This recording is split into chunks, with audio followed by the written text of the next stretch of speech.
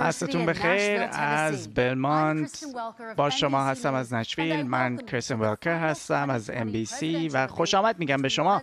به آخرین مناظره انتخابات ریاست جمهوری بین جو بایدن و دونالد ترامپ امروز کمیسیون مناظره های انتخاباتی اسپانسر این برنامه هست.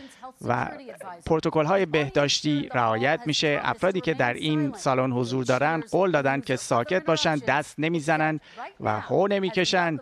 غیر از همین حالا که خوش آمد میگم دعوت دعوت می‌کنم جو بایدن و پرزیدنت دونالد ترامپ روی صحنه بیان.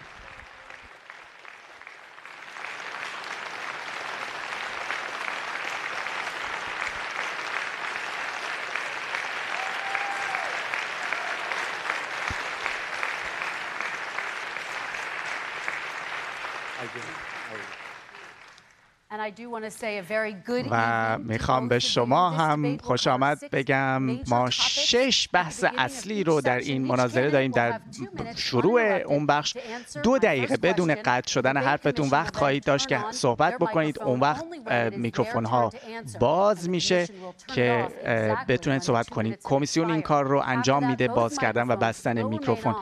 بعد از اون میکروفون ها باز هست و اون وقت ولی ازتون خواهش می‌کنم که یک به یک صحبت بکنید. هدف اینه که مردم آمریکا تمام حرفایی که شما می‌زنید و کلمه به کلمه بشنون اگر آماده هستید شروع بکنیم با بحث همهگیری کرونا شروع می‌کنیم. کشور به وارد یک مرحله خطرناک شده. چهل هزار آمریکایی در بیمارستان هستند و به خصوص همینجا در تنسی هم اوضاع خراب هست. شانزده هزار آمریکایی از زمانی که شما شروع کردید این, جانشون از دست دادن. برنامه شما برای مقابله با کرونا چه است؟ دو خب همونطور که می‌دونید دو ممیز دو میلیون نفر انتظار می‌رفت طبق مدل ها که کشته بشن.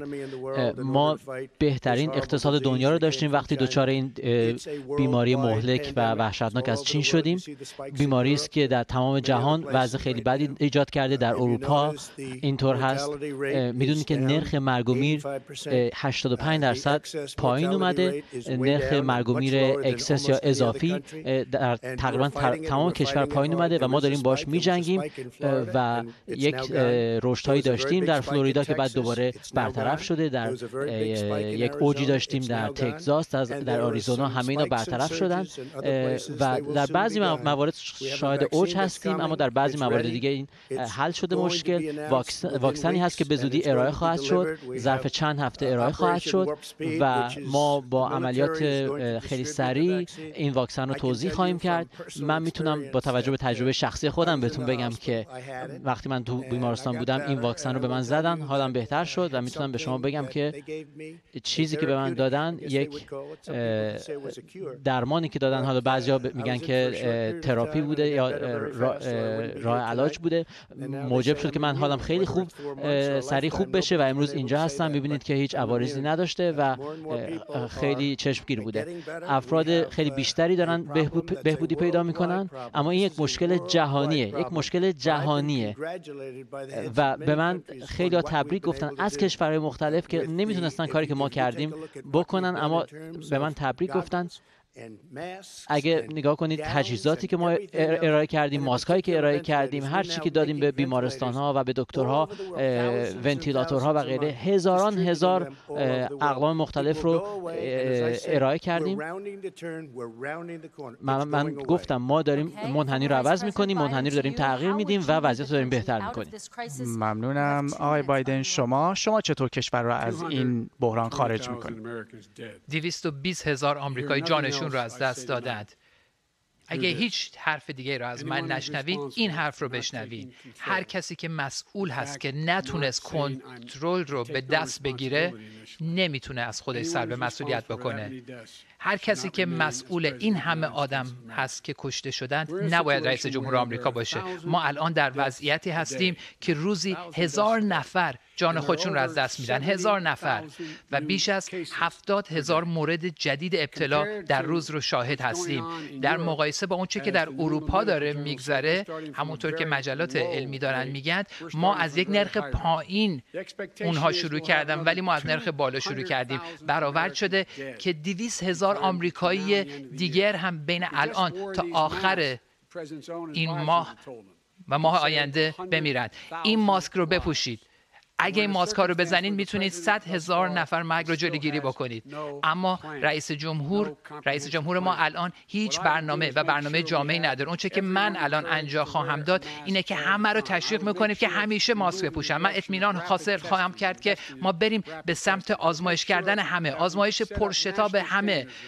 استانداردهای ملی رو به راه اندازیم برای چگونگی بازگشایی مدارس بازگشایی کسب و کارها و ایمن نگه داشتن آدمها و استفاده از منابع مالی برای این کار. ما الان در وضعیتی هستیم که یکی از مهمترین نشریات پزشکی دنیا گفت برای اولین بار که نحوه رسیدگی به این بحران توسط این رئیس جمهور فاجعه بار بوده. بنابراین ای مردم آمریکا من از این قضیه رسیدگی خواهم کرد و یک برنامه جامع خواهم داشت. پرزیدنت ترامپ می‌خوام در مورد همون چیزی که گفتید صحبت بکنیم. شما گفتید که یک راه درمانی در دریافت کردید. بعد گفتید که تو چند هفته آینده واکسن میاد. گارانتی می‌کنید بله تضمینی نیست. تضمینی نیست ولی تا قبل از پایان سال میاد. و گفتم ظرف چند هفته ارائه میشه و خیلی سریع توضیح خواهد شد. می‌تونید بگید چه کمپانی؟ شرکت جانسون جانسون خیلی خوب داره میره جلو. فایزر خیلی خوب داره کار می‌کنه. شرکت های متعدد دیگری هستن که دارن کار می‌کنن که دارن خیلی با کشور دیگه هم همکاری نزدیکی دارن. بذارید همین رو دنبال بکنیم. برای اینکه این اطلاعات تازه ای که دارید میگید چند هفته مونده. ولی مقامات خود شما میگن ممکنه تا 2021 طول بکشه و بعدم معلوم نیست چه چقدر آدم بتونن واکسن بزنن و آدم ها باید همچنان تا سال 2022 ماسک بزنن. این درسته این زمان بندی زمان بندی من فکر کنم واقع گرایانه است. به حال ما یه راهی داریم که از این بحران خارج بشیم. از نظر لوجستیکی نیروهای نظامی ما آماده هستن که این وظیفه رو انجام بدن توزیع واکسن رو. و ما انتظار داریم که 100 میلیون ویال داشته باشیم از این واکسن. آقای بایدن می‌خوام واکنش شما رو بدونم. 40 درصد آمریکایی‌ها گفتن که واکسن کرونا رو می‌زنن. اگر دولت اون رو تایید بکنه چه چیزی فکر می‌کنید باید بهشون یه اعتماد رو بده که دولت اگه تایید بکنه واکسن؟ اول احتیاط به اینا حاصل خواهیم کرد که شفاف باشه دانشمندان نگاه بکنن محک بزنن آزمایش بکنن این واکسن ها رو. اما فرموش نکن این آدم هم آدمی هستی گفتش که ایستر این ویروس تموم میشه. همین آدمی هستی که گفت تابستون این ویروس تموم میشه. اما ما حال داریم به سمت یک زمستان تیرو تار حرکت می‌کنیم. و هنوز یک برنامه جامع نداره. هنوز چشماندازی وجود نداره که یک واکسن برای اکثریت آمریکایی ها تا اواسط سال آینده آماده باشه. آقای ترامپ پاسخ شما که زمستان تاریکی خواهیم داشت. ما کشورمون داریم باز می‌کنیم قرنطینه رو داریم کم می‌کنیم. الان در وضعیتی هستیم که قبلا به این خوبی نبود. ما خیلی زود سفرها از چین رو متوقف کردیم و همینطور از اروپا برای اینکه افراد مبتلا اینجا نیان. این کار در ژانویه کردیم. چند ماه بعدش آقای بایدن همچنان می‌گفت که این خارجی حراسی است و این نجات پرستیه ما خیلی سریع اقدام کردیم. اون ماها از ما عقب بود آقای بایدن. چندین ماه عقب بود از سیاست ما. در موقع همگیری H1N1 چیکار کرده بود؟ بیماری که به مراتب کمتر مرگبار بود اما آثار فاجعه باری در کشور ما داشت. اگر شما به این آمار نگاه کنید 700 هزار نفر میمردند تحت مدیریت بایدن با اون سبک مدیریت دوره H1N1 که انجام داده بود. همونطور که می‌دونید رئیس دفتر او گفتش فاجعه بار بود عمل کردش. و نمی‌دونستیم چیکار بکنیم. این حرف رئیس دفتر اوست و حالا اومده اینجا به ما داره درس میده. همچنین هر چیزی که گفته هر حرکتی که کرده که گفته ما باید بکنیم کاری که ما قبل از اون کرده بودیم. عقب بوده از ما. خیلی عقب بوده. آقای بایدن پاسخ شما. واکنش من اینه که او خارجی ستیز هست اما نه به خاطر اینکه او عبور مرور از چین رو بس اما بعد از اینکه کشورهای زیاد این کارو کردن علاوه بر علاوه بر اینها وقتی 44 نفر آمریکایی رو ما فرستادیم به ووهان چین که ببینیم منبع ویروس چی هست چی بود؟ او چی گفت در ماه ژانویه وقتی ازش راجع به ویروس پرسیدن گفت نه من شفاف بودم. گفت نه چین شفاف بود. گفت ما باید تشکر بکنیم از چینیا به خاطر مدیریت کرونا. بعد چه اتفاقی افتاد؟ بعد اومدیم که ما در قانون اینو بگنجونیم که بتونیم هر چی که لازم هست بگیریم که از مردم حفاظت بکنیم من دوباره برمیگردم با حرفی که قبلا زدم. اون عملا هیچ کاری انجام نداد. بعد حالا از بیمارستان میاد بیرون صحبت می‌کنه که نگران نباشید نگران نباشید. ویروس تموم میشه. یعنی چی؟ هیچ دانشمند جدی نیست که بگن ویروس به این زودی تموم میشه. من نگفتم خیلی زود گفتیم داریم یاد می‌گیریم داریم کم کم وضعیت رو بهتر می‌کنیم. ما نمی‌تونیم توی بیمار توی زیر زمین مثل آقای بایدن قایم بشیم. باید بیایم بیرون و کار کنیم پول زیادی لازم است پول باید از یه جایی به دست بیاریم ما نمی‌تونیم همچین کاری بکنیم. مردم نمی‌تونن تو زیر زمینشون قایم بشن. من خودم نمی‌تونم توی به جای کاخ سفید توی بیمار توی زیر زمین قایم بشم. من نمی‌تونم چی کاری بکنم. هر ملاقاتی که من داشتم. و با خیلی از خانواده ها ملاقات داشتم. خانواده های نظامی خانواده های غیر نظامی هر ملاقاتی که داشتم باید با اینا ملاقات می‌کردم نمی‌تونستم کنسل کنم. نمی‌تونم لغو کنم. نمی‌تونستم بگم که این خطرناکه و من چیزای زیادی یاد گرفتم. این ملاقات ها رو برگزار کردم. بیمارستان های خوبی داریم دکترهای خوبی داریم و حالا داریم ریکاوری می‌کنیم.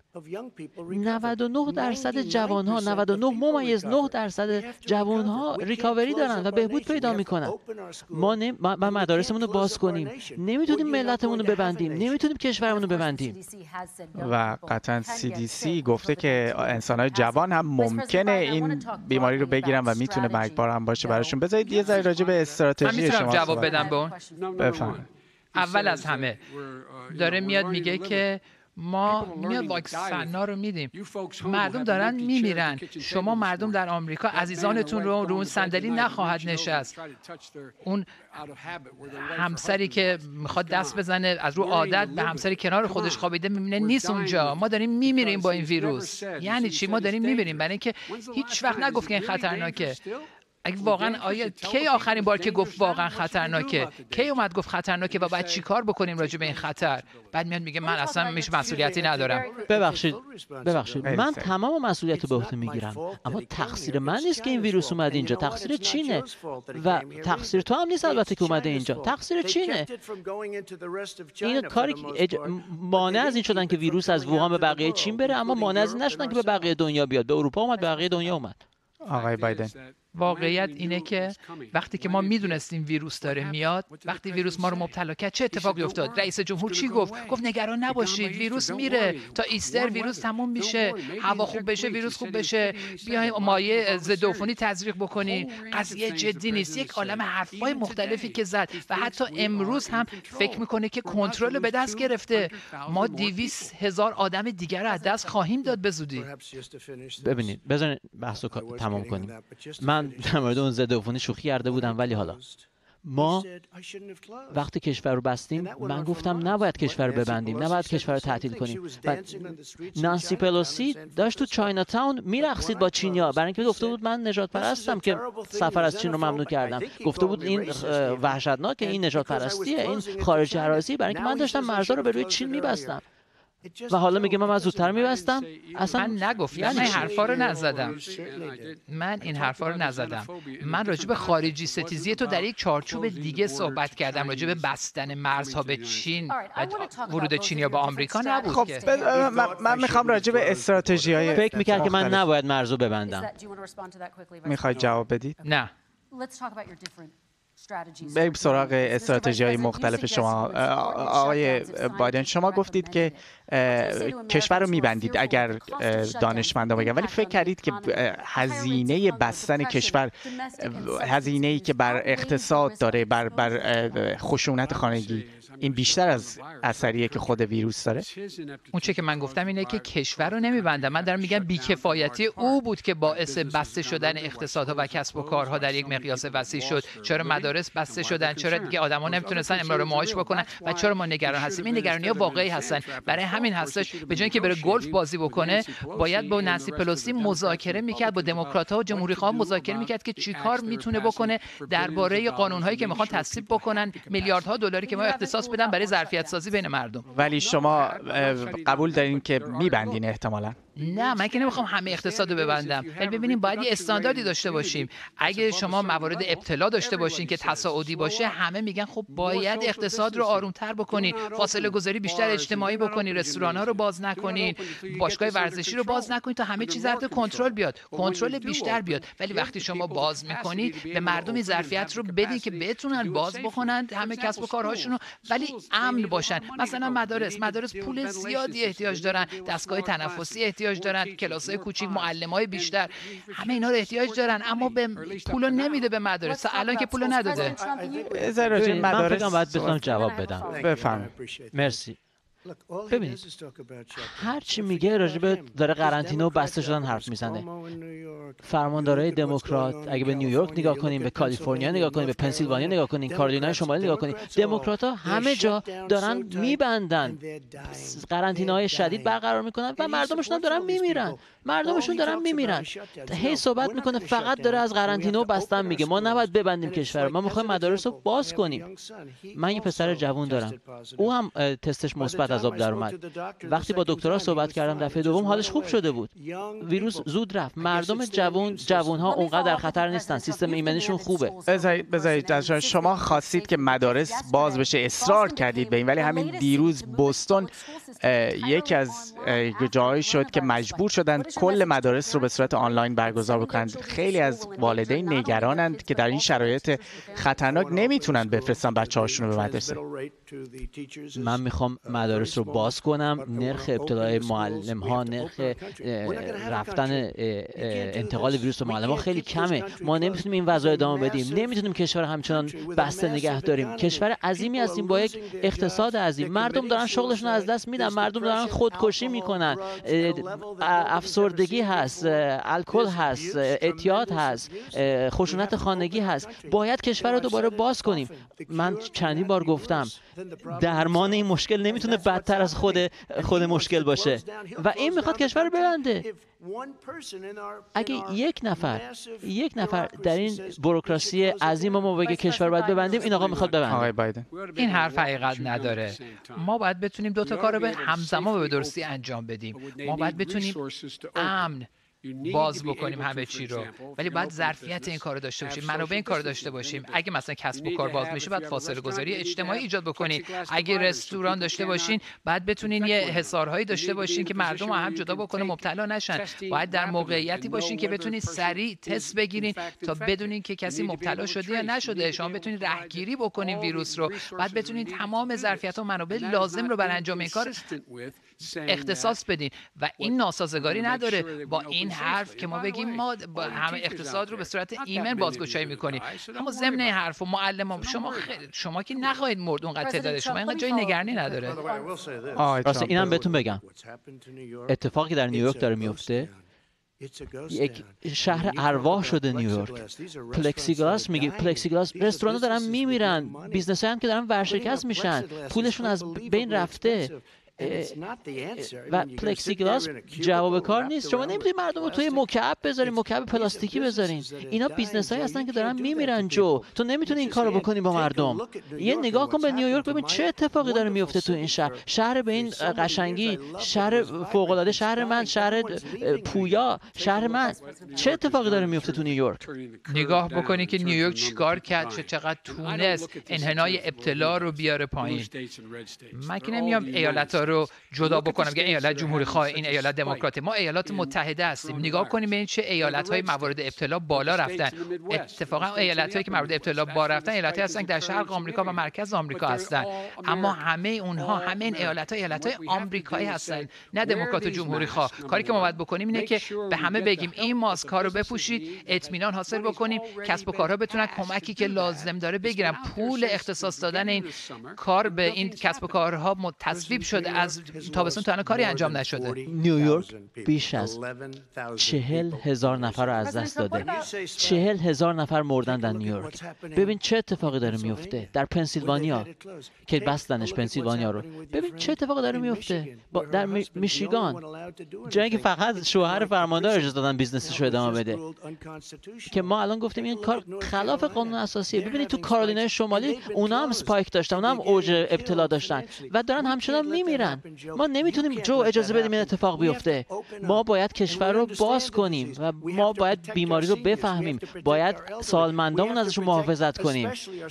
به خصوص سالمندانی که مشکل قلبی دارن مشکل دیابت دارن باید از اونا محافظت کنیم. ما بهترین نظام آزمایش رو داریم در دنیا با فاصله. بذارید قبل از اینکه بریم سراغ بحث بعدی این از برسم امروز شما این هفته گفتید که انتونی فارچی دکتر انتونی فارچی او انسان مزخرفیه و بهش گفتید که آدم احمقیه اگه شما به اینا گوش نمی کنید به کیا گوش می‌کنید؟ من به همه کارشناسا گوش میدم. من رابطه خیلی خوبی هم با انتونی فاوچی دارم. اما این میگه ماسک یه, یه مقطعی گفت ماسک نپوشید؟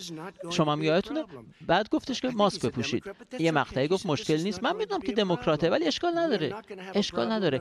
یه مقطعی گفتش که نه هیچ مشکلی نخواهیم داشت. و جو هم گفت که آنتونی فاوچی گفته. و دیگران هم گفته من نمی‌خوام بزنم نابودش کنم انتقاد بیجا ازش بکنم. ولی ما از اون مقطع تا اینجا خیلی چیزا یاد گرفتیم. ولی او در یه مقطعی می‌گفت ماسک نپوشید. حالا میگه ماسک بپوشید. اگه به عقب نگاه کنین عین کلامشه می‌گفت این مشکلی نیست و خیلی زود محو میشه. خیلی زود حل میشه. او یه فرد بزرگیه. ولی خب آقای بایدن خیلی سریع پاسخ بدیم بریم سراغ بحث. واکنش من این هست.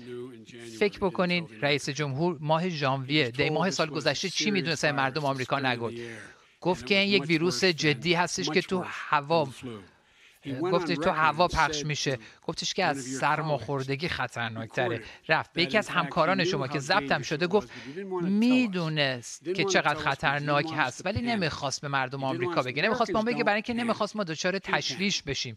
مردم آمریکایی دچار تشویش نمیشن. اون دچار تشویش شده بود. ولی بعدا طریق نیویورک تایمز فهمیدیم که رفقای خودش رفتن وال استریت و گفتن که ویروس یه ویروس خیلی خطرناک هستش بعد بخشنایی که از بعضی از داخل دولت اینا اومد گفتش که ما باید زودتر یه کاری انجام بدیم ویروس خطرناکه ولی بعدا چه جواب بدم به این 30 ثانیه وقت میدم جواب. وال استریت خب... چیزی نبود. تو کسی هستی که همه پول از وال استریت می‌گیری تو خیلی پول برای کمپین ریاست جمهوری پول عظیمی کسب کردی جمع کردی من می‌تونم خیلی بیشتر به عنوان رئیس جمهور و عنوان کسی که خیلی از اون افراد رو می‌شناسه می‌تونستم پول خیلی بیشتری جمع کنم. از وال استریت هر جا می‌تونستم برم با اونا صحبت کنم می‌تونستم کلی پول ازشون بگیرم. ولی نخواستم این کارو بکنم برای اینکه منو در موضع ضعف قرار می‌داد. حالا تو داری از وال استریت واسه من حرف می‌زنی؟ تو اونی هستی که به وال استریت وابسته هستی نه من. اگه می‌خوام به سابقت نگاه کنیم به ما نیازی به پول نداریم. ما بنز کافی پول جمع کردیم. پولی که ما از جمع کردیم که کسری از پولی که تو جمع کردی.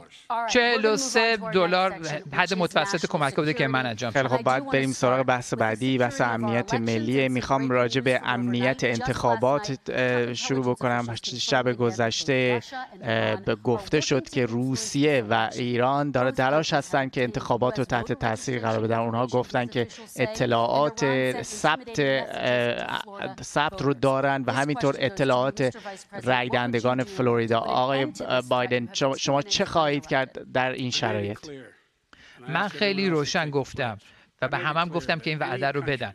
من روشن گفتم هر کشوری مهم نیست که چه کشوری باشه بخواد دخالت بکنه در انتخابات آمریکا هزینهش رو خواهد داد.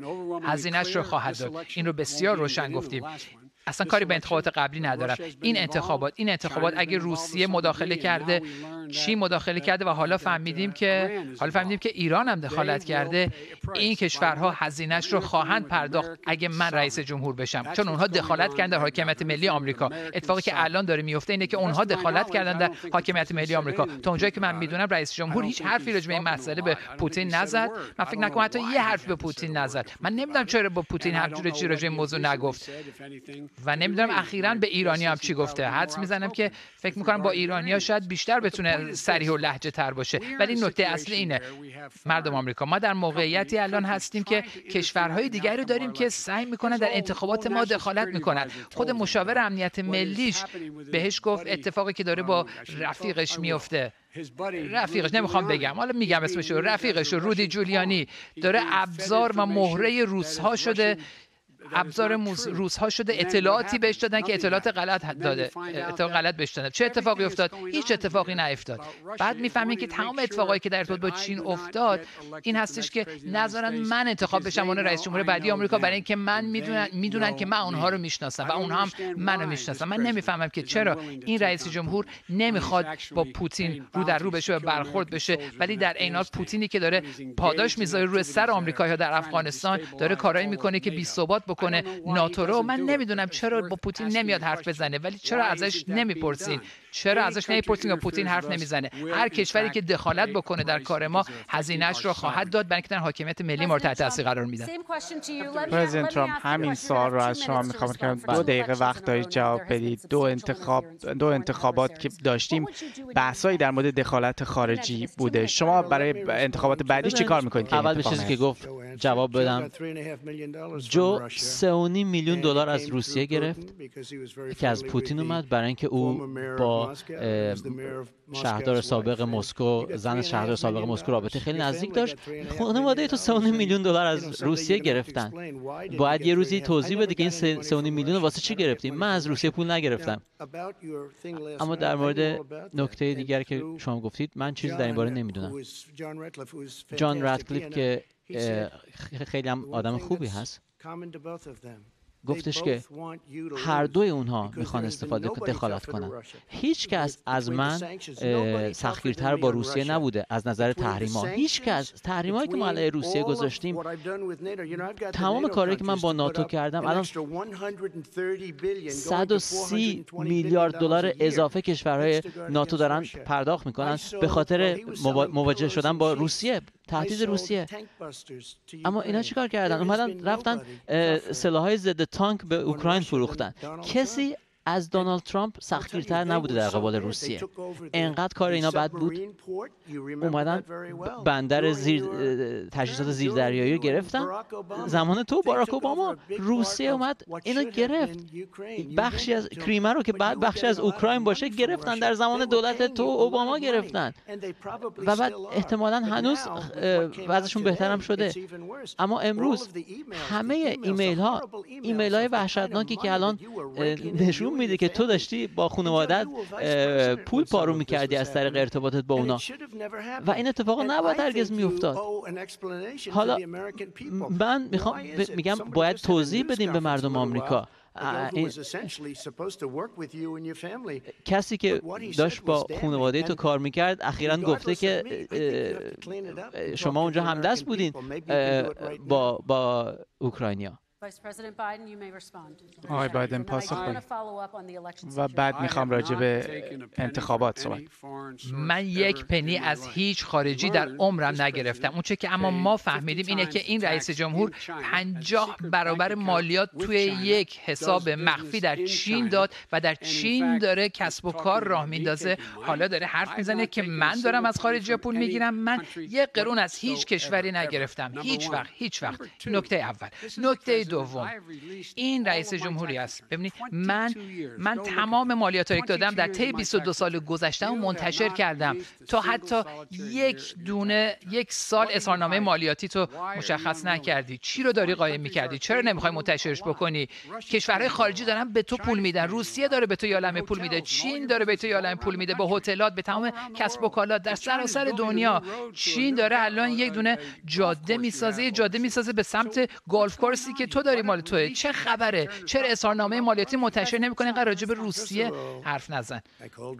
قبل از هر چیز من با حسابدارم تماس گرفتم و قراره که به زودی در اثر وقت مدارکمون رو منتشر کنیم مدارک مالیاتیمون اما مهمتر از اون اینه.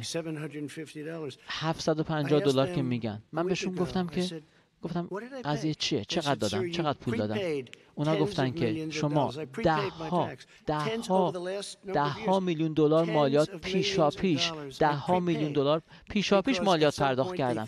چون در این مقطعی فکر می‌کنن که این برآوردیه فکر می‌کنن که بعد این مالیات رو بدن. بنابراین من از پیش پرداختم و اینو کسی به من نگفته بود. اجازه بدید اطلاعاتش هر چیزی که نوشتن من دارم راجع به 750 دلار صحبت می‌کنم ولی اینو نمیگن. من میلیون ها و میلیون ها دلار مالیات پیشا پیش پرداخت کردم پیش پرداخت کردم. اما شماره دو من از چین پول در نمیارم تو در میاری. من از اوکراین پول در نمیارم تو داری پول در میاری از اوکراین.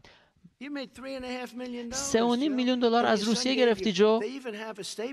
حتی یک بیانیه دارن که یکی از این ایمیل ها هست میگن که ما باید ده درصد رو بدیم به آقا. این آقا کیه؟ این آقا تو هستی تو این ایمیل. ده درصد باید بدیم به آقا. جو قضیه چیه؟ وحشتناک این. من باید جواب بدم. من باید جواب بدم. بهتون اجازه میدم بعدتر پاسخ بدیم. شما. گفتید که از حسابداراتون خواستید که اونا اطلاعات به محض اینکه- مالیاتتون رو منتشر به محض بکنن. اینکه حسابرسی انجام بشه الان رفتارشون با من از رفتارشون با تی پارتی بدتره.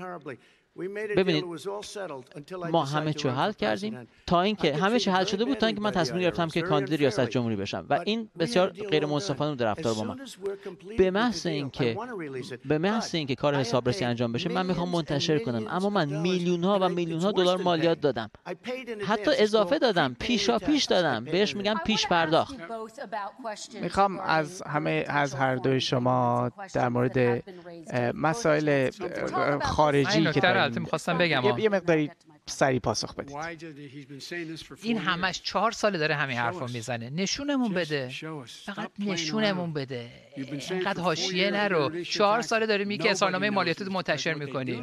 هیچکی نمی‌دونه که مالیات چیه. هر اون چی که همه می‌دونن اینه که تو مالیات نمیدی یا مالیاتی دیگه میدی انقدر کمه که نمی‌خواد کسی بفهمه. میدی ازش پرسن دفعه پیش که دادی یا ندادی؟ گفته من ندادم برای اینکه من باهوشم بلدم چجوری از سیستم رو بدوشم. این حرفا چیه آخه ممنونم آقای ترامپ بعد سوالی بپرسم. من یک شکار جادوگران بود یک مخمسه مزهکی بود که سه سال چهار سال دنبال من بودن به خاطر این قضیه ارتباط با روسیه. بذار بذار بگم اینو. مولر و 18 تا دموکرات عصبانی و عوامل FBI میلیون ها دلار خرج کردن. هر چی تونستن رفتن زیر رو کردن از جمله برگه های مالیاتی من. و هیچی پیدا نکردن. نه همدستی نه هیچ خطایی. به تضمین می‌کنم که اگه من یه میلیون روی تو خرج کنم ببین چه چیزایی از تو کشف می‌کنم جو. یک پولایی جمع کردی یک پولایی که خانواده تو جمع کردم برادرت برادرت کجا پول در آورد میلیون ها دلار. برادر دیگرت. و همه اینا به واسطه ارتباطشون با توه و گفتن که یه بخشش به تو می‌رسه. اگه خونهات نگاه کنیم این وضع چجوری خوبه؟ خدا. خب بذارید بعدتر راجع به این کنیم. آقای بایدن در مورد کارهایی که پسر شما در چین و یک شرکت انرژی اوکراینی کرده. سوال پرسیده شده. آیا این روابط غیر اخلاقی بوده یا نه؟ هیچ کار غیر اخلاقی ما نکردیم. ببینید در ارتباط با اوکراین. ما همون موقع این بحث رو داشتیم برای اینکه پسر من توی هیئت امنای شرکتی قرار بود. مثلا انگار من یه کار اشتباه انجام دادم در این حال. وقتی تمام کسایی که در جریان استیزای خود ترامپ اومدن حرف زدن گفتن که من وظایفمو به درستی انجام دادم. سیاست آمریکا رو به درستی اجرا کردم. حتی یک اتفاق کوچیک خلاف قانون نبوده. نکته اول. نکته دوم. کسی که در اوکراین نزدیک بود آبروش بره این آقا بودش که باج داد به دولت اوکراین که حرف منفی راجع به من بزنم. ولی ولی اونا هم نگفتن برای اینکه همچین اتفاقی نیفتاده بود. پسر من پولی در نیاورد در ارتباط با این بحثی که این داره میگه چین. من من چیزم ندارم. تنها کسی که پول در آورده از چین این آدمه. هیچکی دیگه هیچکی دیگه از چین پول در نیاورده بذار من اینو بذار من اینو بگم. بذارید یه من بگم. پسرش یه شغل داشت مدت ها بیکار بود. این ور ور ول میگشت. حالا نمی‌خوام وارد بحث بشم که چی کاره بود؟ چی کار می‌کرد؟ به محض اینکه آقا شد معاون رئیس جمهور شرکت بوریسما یه دفعه رفت تو هیئت مدیرش هیئت امناش. این یعنی چی؟ این یعنی چی؟ 83 83 هزار دلار در 183 هزار دلار در ماه می‌گرفتن و 3.5 میلیون دلار از مسکو گرفت 100 درصد این متقلبانه است.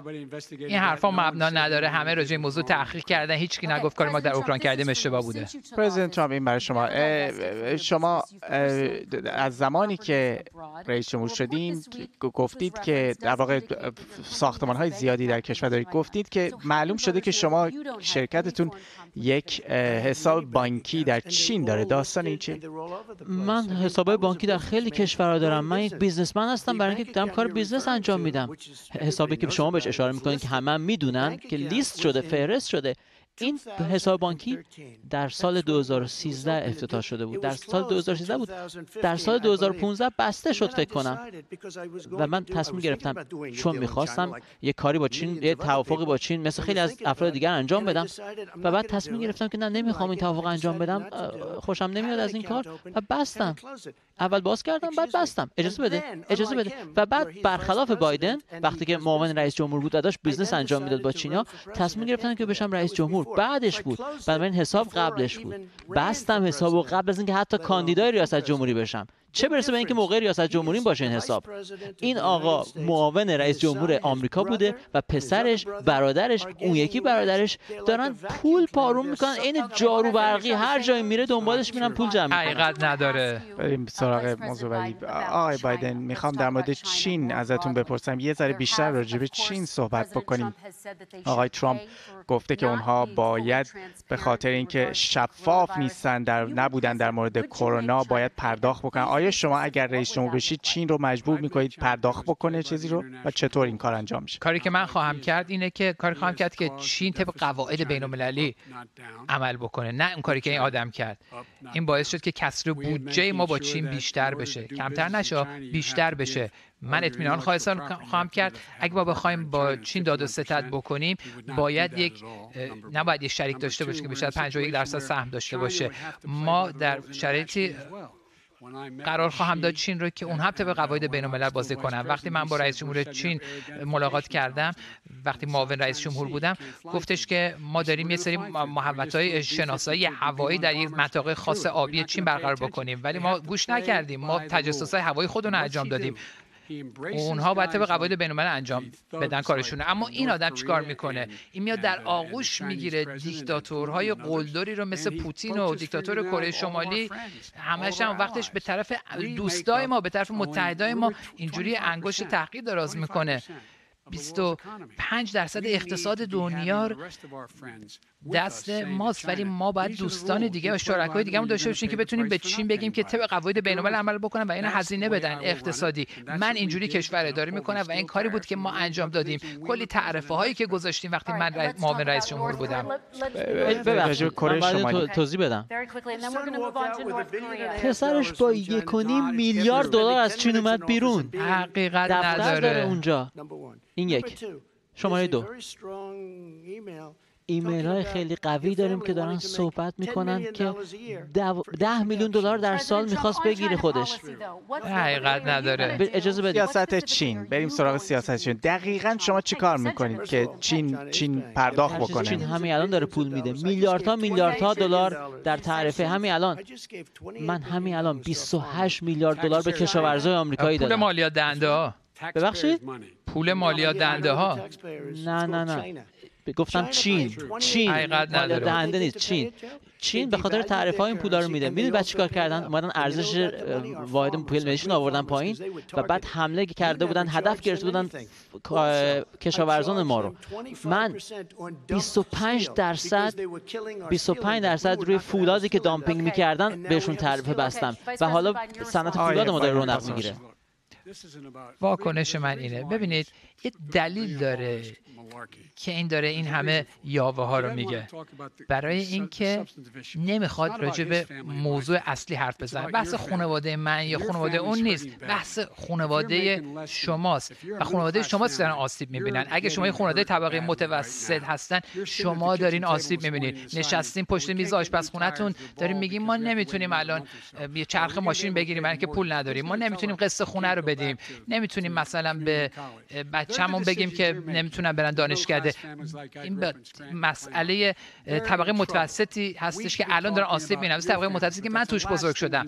ما باید راجع به خانواده شما حرف بزنیم ولی اون نمی‌خواد راجع به شما حرف بزنه. ببخشید ببخشید. کره شمالی سا 10 ثانیه اظهارات نظر سیاسی می‌کنه. بحث چی رو می‌زنی کنار حالا خانواده و سر میز غذا و سر سفره و این حرفا. من یه سیاست مدار من اجازه اجازه بده. بذار بذار موضوع چین رو بزنیم کنار و از این حرفا بزنیم. واقعا. واقعا بریم راجع به کره شمالی صحبت کنیم. پرزیدنت ترامپ شما با کیم جونگ اون رهبر کره شمالی سه بار صحبت دیدار کردید گفتید نامه های قشنگی برای هم دیگه فرستادین ولی اونا این متوقف نکرده اونها رو که آزمایش های موشکی بکنن. اونا بزرگترین آزمایش موشکی بالستیکشون رو کردن و همچنان هم دارن ادامه میدارن. این همین طوری می‌خواید این رابطه رو ادامه بدین سی ثانیه لطفا.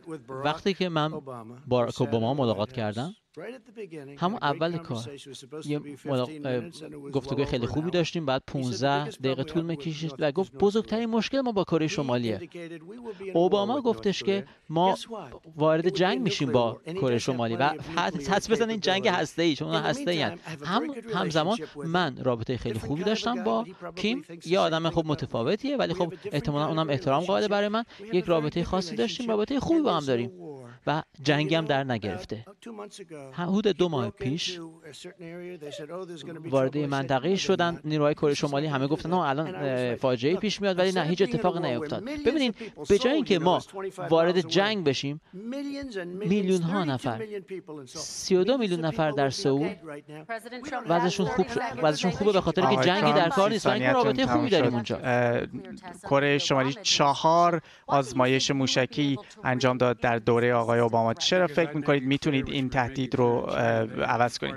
برای که من خیلی روشن بهش گفتم همونجوری خیلی روشن به چین گفتم. اونها باید جزوی از این توافق ما باشن. وقتی به چین هم رفتم خیلی روشن گفتم. ازشون پرسیدم که چرا شما اینقدر دارین سیستم های دفاعی خودتون رو اینقدر نزدیک جایی که ما نمی‌خوایم منتقل می‌کنین؟ چرا دارین این مانورهای نظامی رو با کره جنوبی انجام میده اونها از ما این از من این سوال رو پرسیدن. من بهشون گفتم مگه کره شمالی مسئله هستش؟ ما باید این کار انجام بدیم که بتونیم اونها رو کنترل بکنیم و رصد بکنیم تا اجازه ندیم اونا به ما آسیب بزنن برای اگه می‌خواین شما کاری بکنین باید که اقدام بکنین اون چی کار کرده؟ این مشروعیت داده به کره شمالی. اومده راجع به رفیقش حرف زده که آدم قلدر هستش به حال میگه وضعمون خیلی بهتر شده. بعد اومده مثلا بهش میگه که ما با اونا خوب برخورد کردیم ولی اونا موشکایی دارن که راحت می‌تونه آمریکا رو بزنه. آقای بایدن بذارید با شما سوال کنم. شما گفتید که دیدار نخواهید کرد با کیم جونگ آیا شرایطی هست که با اون دیدار کنید؟ شرط این هستش که او باید ظرفیت های هسته‌ای خودشو کاهش بده. برای اینکه چه به جزیره کره بعد آری از سلاح‌های هسته‌ای باشه. بریم سراغ خانواده های تلاش کردن این کارو بکنن. ولی نه نمی‌کنه. خب کیم این کارو نمی‌کنه. از اوباما خوشش نمیومد رضایت نداد رضایت نداد. رضایت نداد. می‌دونی نکته چیه؟ کره شمالی ما با کره شمالی تو جنگ نیستیم تو رابطه خوبی هستیم. رابطه خوب داشتن مهمه. باید بریم خوبیه. سوالای بعدی. باید بریم ما با هیتلر هم قبل از اینکه حمله کرد رابطه خوب داشتیم. بس که به اروپا حمله کرد رابطه خوب داشتیم. این حرفا یعنی چی؟ تنها دلیل این که اون با اوباما نمی‌خواست ملاقات بکنه برای اینکه اوباما بهش گفت شما باید راجع به سل... خلع سلاح هسته‌ای صحبت بکنید اما مشروعیت بهشون ندادیم. بهشون گفتیم ما شما رو تحریم می‌کنیم. برای اون بود نخواست دیکتاتور کره جواب با ملاقات بکنه. جواب نداد. آقای ترامپ. آقای اونها واقعا یه ویرانه ای رو برای من برمغان گذاشتن. کره شمالی وضعش داغون بود. سیاست ما در قبال کره شمالی. مقطع خیلی خطرناکی بود. سه ماه اول ریاست جمهوری من. وضعیت خیلی خطرناکی بود. برای اینکه اونها این میراث رو برای ما گذاشتن. دولت اوباما. ببینید خودش به من گفت اوباما. گفت بزرگترین مشکلی بود که متوجه خب، آمریکا بود. سراغ خانواده های آمریکایی و اقتصادی. یکی از مهمترین مسائلی که براشون مهمه بحث سلامتیشون هست. امروز قاضی می‌کنی برد در جلسهش گفته که بیش از 20 میلیون نفر از اوباما کر و از اون طرح استفاده می‌کنن. اما شما آقای پرزیدنت می‌خواید اون رو برگردونید و اون قانون رو عوض کنید. 20 میلیون نفر اگه شما این کار رو انجام بدید یک شب در یک شب یه دفعه بیمه درمانیشون از دست میدن. شما چرا این کار می‌کنید؟ هر چیز من همه یه کاری کردم که هیچکی تعریفشون نمی‌کنه. من قانونی وضع کردم که individual mandate یعنی اون بخش بدترین بخش اوباما کر که افراد رو جریمه می‌کرد. افراد رو جریمه می‌کرد اگه که نمی‌رفتن بیمه اجباری بگیرن. یعنی شما باید یه پول هنگفتی می‌دادی که این بیمه بد رو به زور بهت تحمیل کنن. ما اون رو حذفش کردیم. اوباما کر خیلی بد بود. حالا من می‌خوام که با مردم خودم با هم تیم های خودم با افراد خودم مشورت کردم تا حد امکان. و کاری که کردن این بود که حق بیمه ها کم شد حق بیمه ها کم شد و کاری که ما می‌خواستیم بکنیم اینه که اوباما کر رو حذف کنیم. این اندیویدوال مندیت رو حذف کردیم و اون وقت اگه موفق نشیم اوباما کر رو خواهیم داشت همچنان ولی می‌خوایم که حذفش کنیم. ولی دقت کنید که در هر صورت دیگه اوباما کر نخواهد بود برای اینکه بدون اون بخشی که ما حذف کردیم دیگه یه چیز دیگری است. در ضمن ما گفتیم از بیمارانی که بیماری پیش زمینی دارن حمایت می‌کنیم چیز خیلی بهتری خواهد بود. همیشه محافظت خواهیم کرد و هوای کسانی که بیماری های پیش زمینه ای دارن رو حفظ هواش خواهیم داشت ازشون حمایت خواهیم کرد و یک سیستم خدمات درمانی خوبی خواهیم داشت و ارائه خواهیم کرد برای مردم. من فکر می‌کنم که ما حتی در مجلس نمایندگان هم اکثریت خواهیم داشت و ما دوباره تکرار کنم همیشه محافظ کسانی که بیماری های پیش زمینی دارن خواهیم بود. الان میلیون ها نفر در آمریکا هستن. 80 میلیون نفر که بیمه های خصوصی خیلی خوبی دارن که خیلی بهتر از اوباما کره و جو بایدن می‌خواد همه این بیماری های خصوصی رو بیمه های خصوصی رو حذف کنه. مردمی که خیلی راضی هستن از بیمه های خصوصی خودشون می‌خواد به زور اینا رو حذف کنه. 180 میلیون نفر خانواده. کاری که جو بایدن می‌خواد بکنه که در واقع خدمات درمانی سوسیالیستی انتخاب چو می‌خواد 180 میلیون برنامه برنامه درمانی اینها رو خاتمه بده بهشون. ما می‌خوایم یک خدمات درمانی بهتری ارائه کنیم. اجازه بده من خب بایدن شما طرح بیمه درمانیتون می‌خواد با همون اوباما کر پیش بره. اگر این در مشخص بشه که این قانون خلاف قانون اساسی هست اون وقت چه کار خواهید کرد؟ کاری که من خواهم کرد این هستش که بیمه درمانی اوباما رو با یک گزینه مصوب خواهم کرد به اسم گزینه بایدن.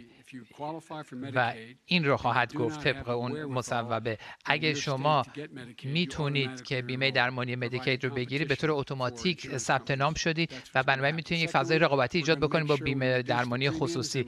نکته دوم اینه که ما تعرفه های پزشکی تعرفه های دارویی رو کاهش میدیم یک فضای رقابتی ایجاد می‌کنیم که الان وجود نداره. اجازه خواهیم داد که بیمه درمانی مدیکر بتونه چونه زنی بکنه راجع به قیمت داروها با شرکت های بیمه. سوم این حرف که من می‌خوام مثلا بیمه درمانی خصوصی رو حذف بکنم.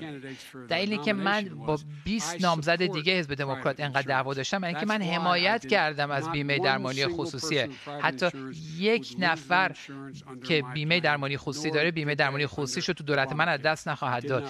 در زمان بیمه درمانی اوباما هم کسی بیمه درمانی خصوصیش از دست نداد من اینکه خودشون بخواستن. نکته آخر. ما اطمینان خاصر خواهیم کرد که ما در موقعیتی قرار خواهیم گرفت که بتونیم حمایت بکنیم از بیماری پیش زمینه این نمی‌تونه بیماری پیش زمینه حفاظت بکنه. نمی‌تونه. امکان نداره بتونه. داره مدت ها راجع مسئله حرف می‌زنه اما هرگز برنامه خودشو نشون نداده. من فکر کنم که این زمانی که می‌خواد طرح رسیدگی به بیماری های پیش زمینه ای رو ارائه بده موقعی هم طرح دیگه رو ارائه بده. یعنی هیچ وقت. من می‌دونم حالا بذار این حرفمو تمام بکنم که الان زیاد دارم حرف می‌زنم. این نکته دیگه هم بگم واقعیت این هستش که الان مردم آمریکا کلی آسیب دیدن به خاطر نحوهی که این مدیریت کرده بحران کرونا و و تبعات اقتصادیش رو. ده میلیون نفر بیمه درمانی خصوصیشون رو از دست دادن. حالا می‌خواد 20 میلیون نفر دیگه که بیمه درمانی اوباما رو دارن را اینا رو حذف بکنه و 20 میلیون دیگه که بیماری پیش زمینی دارن. همه اینایی که الان هم کرونا بگیرن بیماری پیش زمینی خواهد داشت با اونا می‌خواد چیکار کنه؟ آقای بایدن می‌خوام از شما یه سوالی بکنم. میگه شما می‌خواین در واقع داروها رو به صورت مجانی بکنید اونهایی که اومدن پاسخ شما به کسانی که تلاششون رو کردن که این کار رو انجام بدن چیه؟ من میگم این حرف حرف مضحکیه. این که مثلا ما یه گزینه عمومی داریم که مردم می‌تونن انتخاب بکنن. حالا این این شد یه برنامه سوسیالیستی میده فرق من با رئیس جمهور اینه که بیمه درمانی یک امتیاز نیست. یه حق همه باید این حق رو داشته باشن که بتونن یک بیمه درمانی داشته باشن. من افتخار می‌کنم به طرح خودم که تمام اتحادیه کارگری تاییدش کردن و خیلی آدمای دیگه تاییدش کردن تمام اینایی که در حوزه درمان کار می‌کنن. این کمک هستش به زندگی آدما بهتر کردن سلامت آدما و دادن فرصت به آدما برای درمان و دوای بهتر برای بچهای خودشون. چند نفر از شما نگران هستین که وقتی میرین تو تخت نگرانی که اگه من مریض بشم چه جوری می‌تونم پول بدم؟ برای اینکه بیمه درمانی خصوصی که شرکتتون داشت رو از دست دادین. ما باید بتونیم بیمه درمانی رو به یک نرخی به مردم بدیم که بتونن پولش بدن این آقا 47 سال اینجاست 47 سال سیاست مداره 8 سال معاون ریاست جمهور بوده و الان من فقط سه سال چهار سال هست که رئیس جمهور هستم. کمتر از چهار سال پیش رئیس جمهور شدم. این آقا چیکار کرده تو این 47 سال؟ این خدمات درمانی سوسیالیستی می‌خواد. معاون رئیس جمهور بود.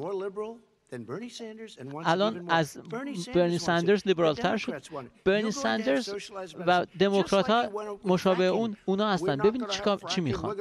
میگن fracking رو می‌خوام متوقف کنیم. بعد میره پنسیلوانیا که می‌خواد نیاز باشه داره که به رأیشون میگه نه نه fracking اشکال نداره. آره fracking می‌خوام داشته باشیم. اشکال نداره. و هیچ وقت ازش این سوال نمی‌کنن. من تا اینجا خیلی راضی هستم از کارش اما یه کسی باید این سوال ازش بپرسه سال هاست که بر سر کار آقا. یه, یه موضوعات دیگه ای داریم که باید بهش برسیم. بذارید هم, هم باید جواب بدم جواب من اینه که مردم مستحق این هستن که بتونن بیمه درمانی داشته باشن که استعداد مالیش رو داشته باشن که بدن. طرح من امکان این رو میده که بتونن چنین بیمه درمانی داشته باشن. با تعرفه های پایین تر. بله 750 میلیارد دلار تا 10 سال خرجش خواهد بود. اما باعث خواهد شد که تعرفه ها بیاد پایین تر. شما بتونید بر بیمه های بهتری رو بگیرید تعرفه های پایین تر رو بگیرید اگه مثلا بیماری غیر منتظر داشته باشین بتونید باش برخورد بکنین قیمت دارو بیاد پایین. اما همش راجع بهش حرف می‌زنه. اما هیچ کاری برای هیچ کس در زمینه بیمه درمانی نکرده قبل از هر چیز این آقا میگه راجع به خدمات درمانی سوسیالیستی حرف می‌زنیم وقتی که راجع به گزینه عمومی دولتی صحبت می‌کنه می‌خواد Medicare رو نابود کنه. و می‌خواد که social security خدمات تامین اجتماعی شما رو نابود کنه. برنی ساندرز سعی کرد تو ایالت خودش دولت خیلی لیبرالی بود اونجا ببینید چه چه چه غیر ممکن بود جواب بایدن آیا پاسخی این گیج شده داره گیج می‌زنه فکر می‌کنه داره با یکی دیگه رقابت می‌کنه این داره با جو بایدن رقابت می‌کنه من برنی ساندرز و اونای دیگر رو شکست دادم و الان این با جو بایدن روبروه و اینکه ما الان در وضعیتی قرار داریم که به من میگه که من می‌خوام بیمه درمانی رو بین ببرم این آدمی هست این آدمی هستش که خود نظام تامین اجتماعی مقاماتش گفتن که اگر قرار باشه این برنامه اون راجع به مالیات بستن به تامین اجتماعی اجرا بشه سیستم تامین اجتماعی سال 2023 ورشکست خواهد شد. دخل و خرجش جور در نخواهد آمد این آدمی هستش که می‌خواد بیمه درمانی رو قطع بکنه. این ایده که مثلا دونالد ترامپ بخواد به من یاد بده راجع به بیمه درمانی و تامین اجتماعی چیکار بکنم؟ این حرفا چیه این آقا خواست که تامین اجتماعی رو سالها پیش خواست بهش لطمه بزنه بریم به سابقش نگاه کنید سعی کرد که تامین اجتماعی رو کم کنه. اما این آقا این آقایی که اجازه بدید. باید بریم سراغ بحث گفتش که گفتش اگه من انتخاب بشم اگه من انتخاب بشم بازار بورس خیلی صعود می‌کنه. اگه این آقا انتخاب بشه سقوط خواهد کرد. ببینید این حرف که بازار بورس داره دچار شکوفایی شده این تو ذهن خودشه جایی که من هستم تو کلیمان مردم بازار بورس زندگی نمی‌کنن امرار معاش نمی‌کنن. در همین سه سال گذشته میلیاردرها طبق طبق روزنامه وال استریت برآوردهای روزنامه وال استریت 700 میلیارد دلار بیشتر به جیب زدن میلیاردرها. برای اون محک این هستش که میلیاردرها چقدر پول در بیارن. اما مردم عادی چی؟ چه اتفاقی به مردم عادی میفته؟ اگه به فرم 401 کی مردم نگاه کنین همه مردم دارن. به نگاه کنین به فرماتون ببینین چقدر پول توشه. ببینید یه, یه مدتی اونجا بود بدون که اصلا هیچ بریم سراغ سوال بعدی. بریم بذارید برم سراغ سوال بعدی. از تا امشب دوازده میلیون نفر کارشون از دست دادن و هشت میلیون آمریکایی بیشتر زیر خط فقر رفتن و و گرسنگی می‌کشن و اینها افراد رنگین پوست هم هستن. در حالی که این در واشنگتن می‌بینن که آدما دارن با هم میجنگن. آقای نانسی پلوسی شما چه می‌خواد با ما همکاری کنه. من می‌خوام که این بحث حمایتی تصویب بشه.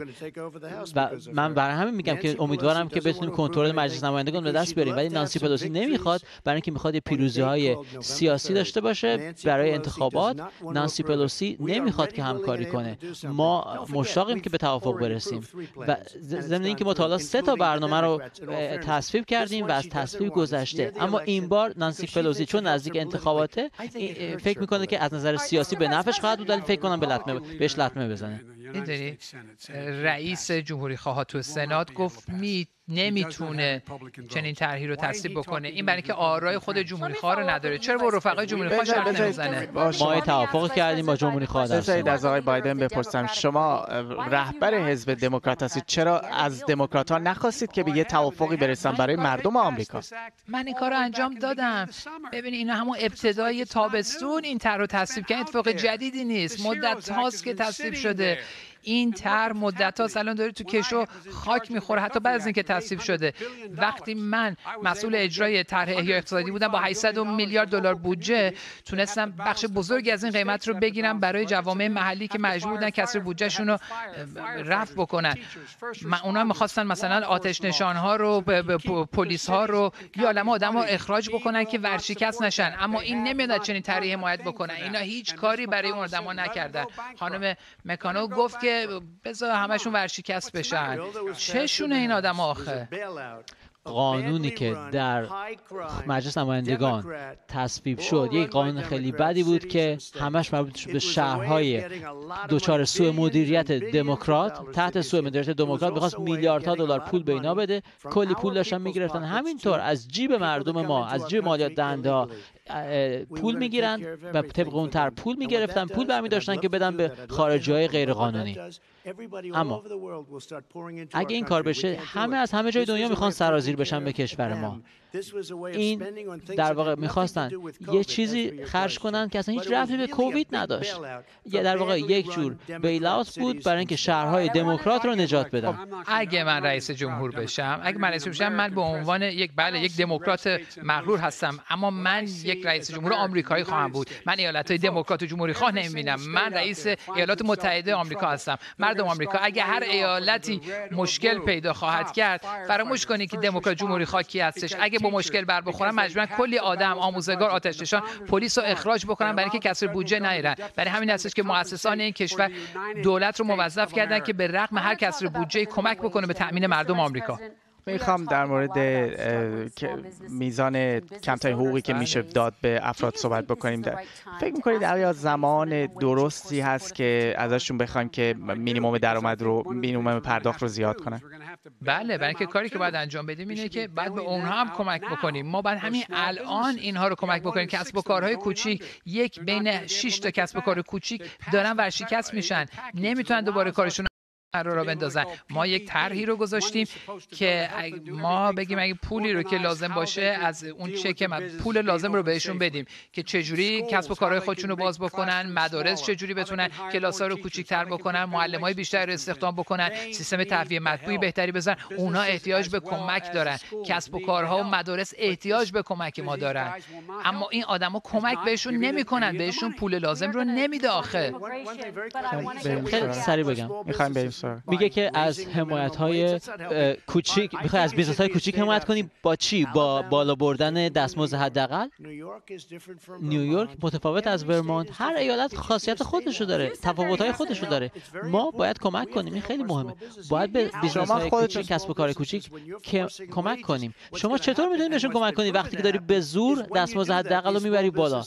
این کار باعث میشه که مجبور شن خیلی از کارکنانشون حقیقت نداره حقیقت همین. اخیرا گفتید که حداقل دستمزد رو حاضرید در نظر بگیرید و افزایش بدیم به 15 به 15 دلار چی- چیزی که من بررسی خواهم کرد در دو مرحله اینه که چیزی که من در دولت دومتون ببینید نباید یک سطحی را ایجاد کنیم که همه این business های کوچیک رو بکشه هر جایی خاصیت های خودش رو داره ویژگی های خاص خودش رو داره بعضی جاها 15 دلار بدم نیست ولی در بعضی جاها بعضی ایالت ها 15 دلار در ساعت خیلی آقای زیاده. ترامپ ممنونم. خیلی سریع پاسخ آقای باید. یه کار یه شغل دو شغل. یک شغل از دو شغل ما الان زیر خط فقر مردم دارن ساعتی 7 دلار در میارن. این آدم هایی که ما الان تو کادر بهداشت و درمان جون ما رو نجات دادن. اینا اینا الان مستحق حداقل دستمزد 15 دلار هستن. هر چیز زیر اون باشه زیر خط فقره. هیچ حقیقتی وجود نداره که اگه شما حداقل دستمزد افزایش بدین کسب و کارها از کار بیکار بشن این حقیقت نداره.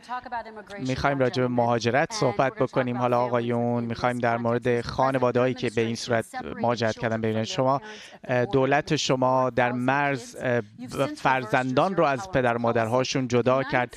به دلیل اینکه نمی‌تونستین تحمل بکنید ورود اونها رو اما حالا نتونستن 500 تا از اون بچه ها پدر و مادرهاشون رو نتونستن پیدا کنن چیکار باید بکنن؟ بچه ها رو کی اینجا میاره؟ قاچاقچی ها کارتل ها و افراد شرور و جنایتکار.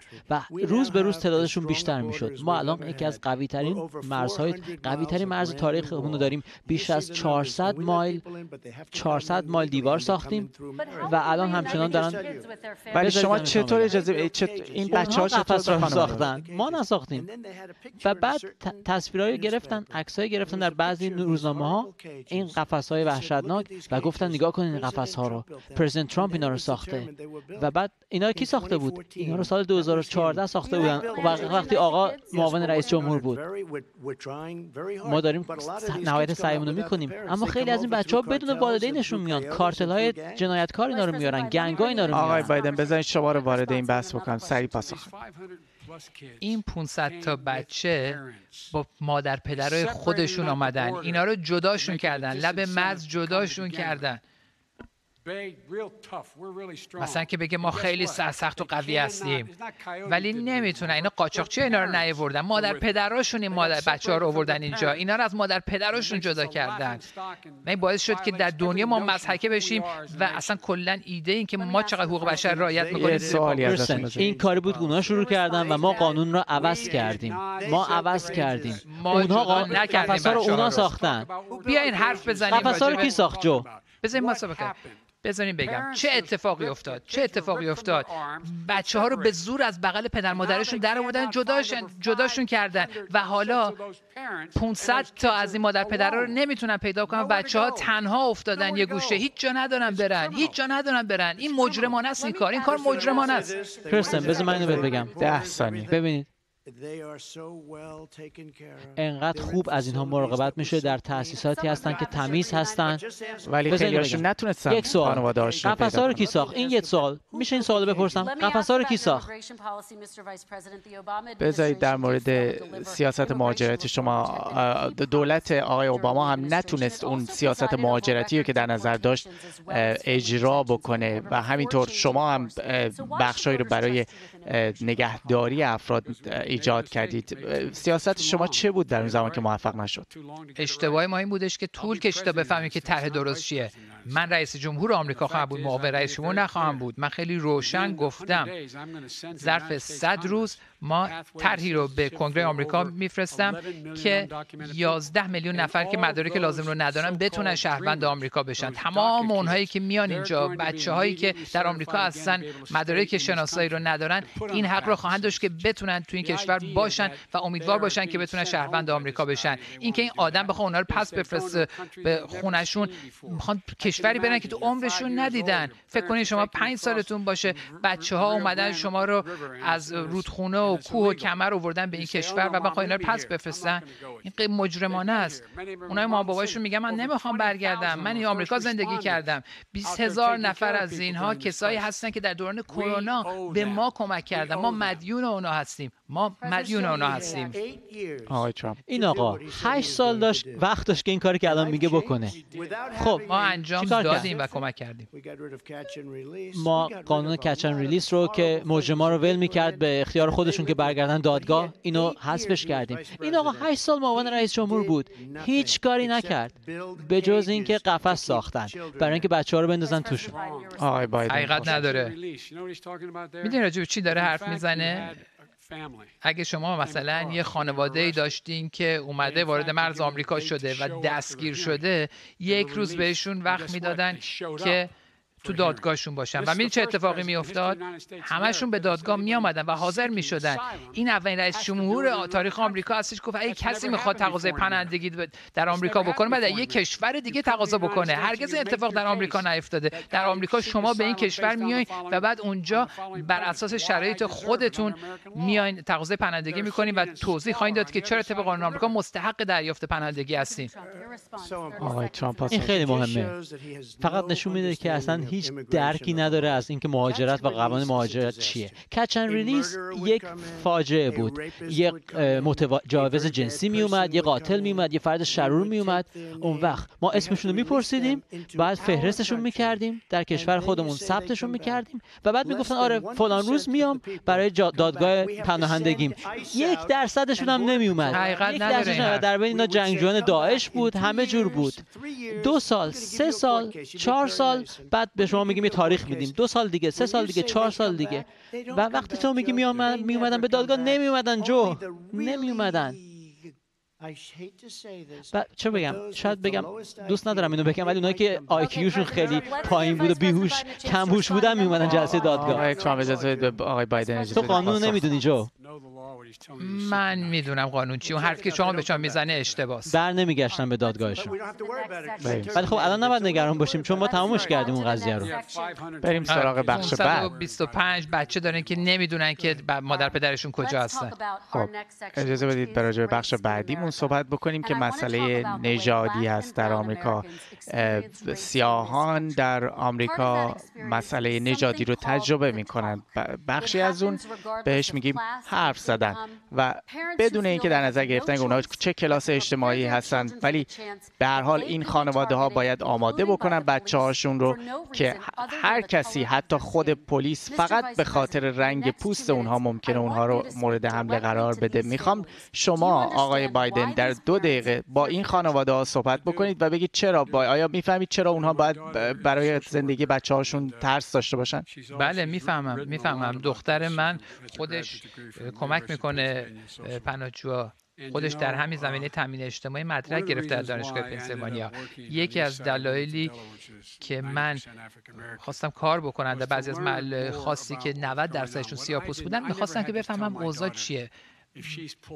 من نمی‌خواستم هیچ وقت مثلا به دخترم بگم که تو اگه پشت چرا قرمز میستی دستتو بذار روی فرمون.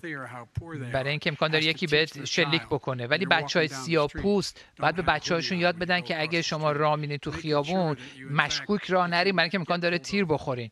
این نباید اینطور باشه. اگه یه سیاپوس رو بکشن کنار فقط برای اینکه توی ماشین نشسته.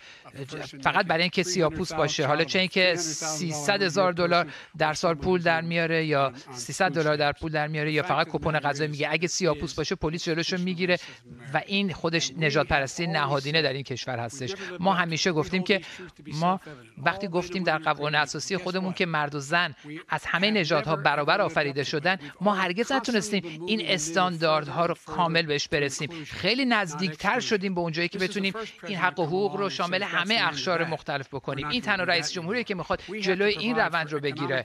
ما باید فرصت اقتصادی رو بدیم آموزش بهتر بدیم بیمه درمانی بهتر بدیم دسترسی بهتر به آموزش بدیم به فرصت های بهتر دسترسی بدیم که بتونن پول قرض بکنن کسب و کار را بندازن. تمام کارهایی که قبلا نمی‌تونستیم بکنیم در برنامه‌ای که من دارم ارائه میدم قشنگ راه چاهش مشخص شده اینکه به مردم فرصت داده بشن بهشون ظرفیت سازی بکنن پول جمع کنن و آزاد باشن و آری از خشونت.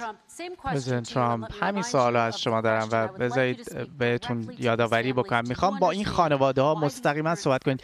می‌فهمید که چرا اینها نگران این خانواده ها نگران بچه هاشون هستن؟ و بازم بگم ایشون 47 سال در دولت بوده سیاستمدار بوده. در سال 1994 وقتی که چنان لطمه به جامعه سیاه‌پوستان ما وارد کرد و به اونها گفتش که اینا افراد تبهکار هستن افراد شکارچی هستند و اونا نمی‌تونی اینو انکار کنی. 1994 قانون جنایی که تو تصویب کردی و این لقب رو به اونها دادی. هیچ کسی برای جامعه سیاه‌پوستا به اندازه دونالد ترامپ کار نکرده. و شاید به استثنای آبراهام لینکلن که برده ها رو آزاد کرد. شاید باعث به استثنای آبراهام لینکلن. هیچ کس به اندازه من کار نکرده. اصلاحات قانون جنایی ما. اوباما چیکار کرد؟ من کردم.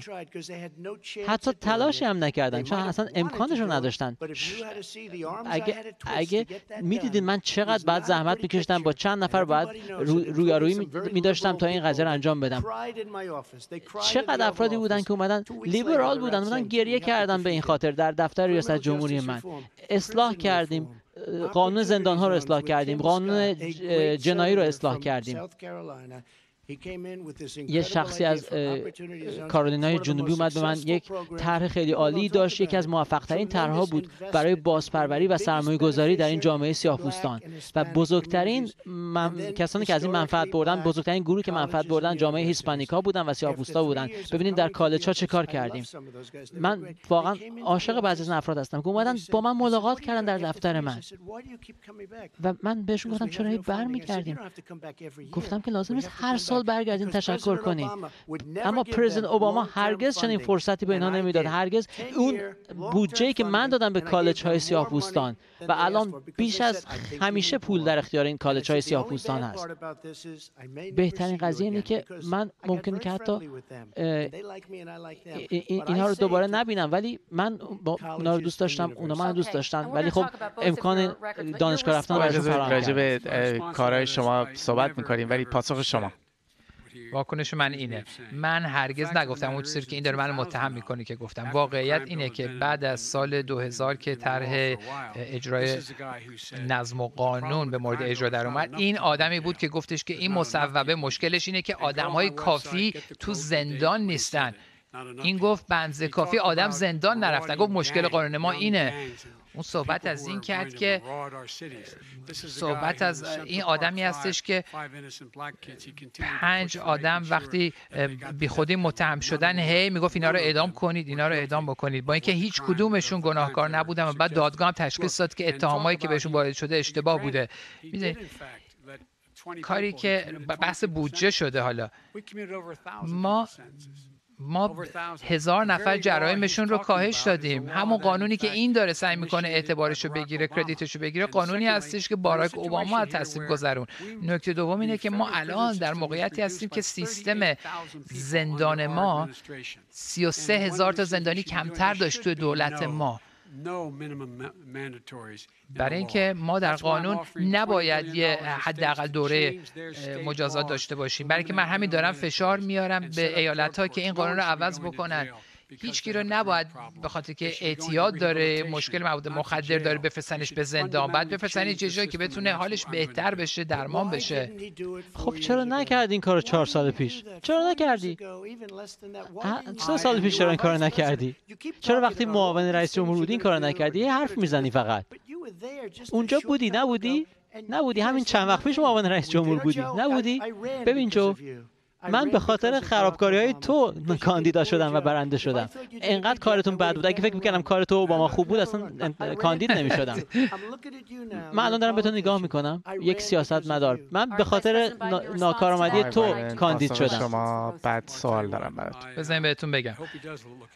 امیدوارم که این حرفی که می‌زنه حرف شما می‌دونید مردم آمریکا. من کی هستم؟ شما این آدمو می‌شناسید. شخصیت منو می‌دونید شخصیت اینو می‌دونید می‌دونید که کارنامه ما در راستگویی چی از کارنامه اون در راستگویی چی هستش؟ من می‌خوام مسئله نژادی حل بشه. شخصیت کشور ما در گرو این انتخابات هستش. نگاه کنید به این آدم؟ من به شما گفتم اوکراین چین روسیه. اگه این واقعیت داشته باشه این آقا یک سیاستمدار فاسده. بنابراین واسه من موعظه نکن لطفا این راجع به شخصیت کشور این حرفا. شما یک سیاستمدار فاسد هستی. اجازه بدید. اجازه بدید. مسئله مسائل نژادی صحبت بکنیم. ما داریم راجع به مسائل نژادی صحبت می‌کنیم. می‌خوایم راجع به همین مسئله؟ من باید جواب بدم. اجازه من جواب بدم. ببینید پنجاه نفر از مشاوران سابق امنیت ملی هستند که دارن میگن اتهامی که این داره به من میبنده یک طرح و دستیسه روسی هستش.